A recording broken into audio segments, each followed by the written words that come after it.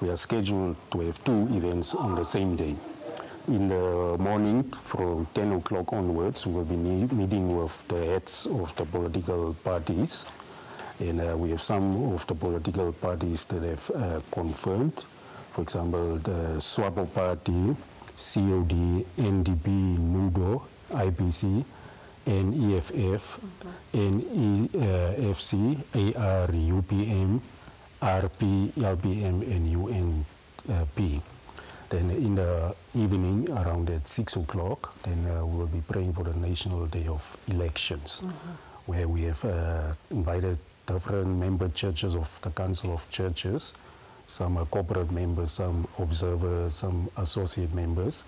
But we have not only extended the invitation to CCN members, we have also extended to other organizations, for example, uh, ACCN, and a coalition of Christian churches in Namibia, and the different political parties, the ones that I mentioned earlier. Mm -hmm. But uh, we've extended the invitation to all the political parties that are registered and showed on the website of ECN but the ones that I read out are the ones that have uh, confirmed that they will be participating. Mm -hmm. Yes.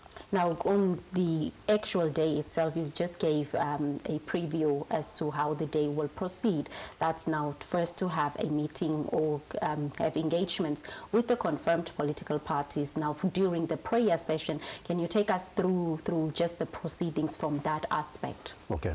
So initially in the morning when we meet with the political parties, uh, one of the things that we strongly want to emphasize is that even though we belong to different political parties, at the end of the day we are all Namibians.